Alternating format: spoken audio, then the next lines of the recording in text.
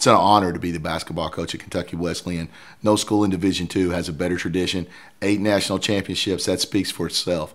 But what's even neater is to be part of a family and part of what we have at Wesleyan. And we tell recruits, and I believe this, it's not a place to go if you want to be anonymous. You've got to be involved. It, you have to be involved at Wesleyan because you don't get lost.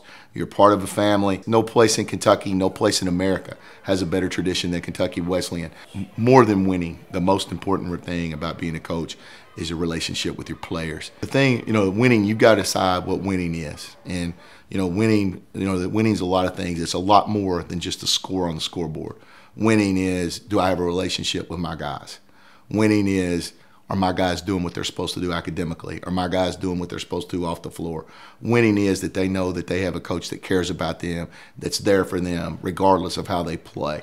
And and I think that you know that's the most important thing. And if if you do this the right way, it's something that walks you through life. Uh, start a lot of Saturday mornings talking to my former guys, guys that guys that played for, for me, guys that played with uh, in programs that I've been in, and and that's what's neat. What's neat is watching them become fathers, watching them, you know, obviously, you know, being successful in life. And what what I really think that's so neat about Wesleyan that separates it from places I've been is how loyal the alumni are.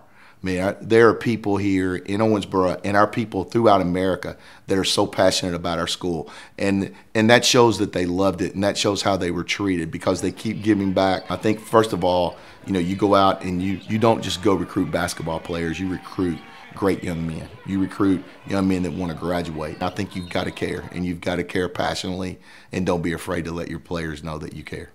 The thing I think you have to understand about Wesleyan academically and that our players under, and they get this is you're going to be in small classes and you're going to be asked to participate. As president darrell says at wesleyan you know we want doers. You're not you don't come to wesleyan to watch you come to wesleyan to do. You know one of, one of the things that that uh, president darrell has talked about since he's been here and, and i think our, our students love it our faculty loves it is the wesleyan way.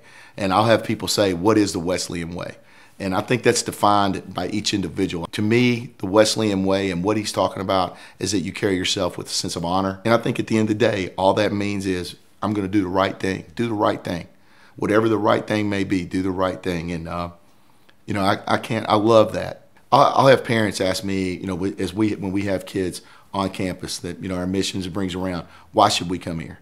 And I think number one, you come here because this is a place that your child is going to be treated as an individual you know your child is not going to get lost here it's you're a, it's a and it's a place where they can excel they're going to be encouraged not discouraged and I think that's part of the Wesleyan way that you know President Darrell wants encouragers on our campus and he wants to uplift our young people. The world, you know, the world's going to be run by doers, not watchers. And you get the chance to get involved and be in things here. And I just think that without question, without question, that you're going to get more bang for your buck at Kentucky Wesleyan than any other private institution in the state of Kentucky.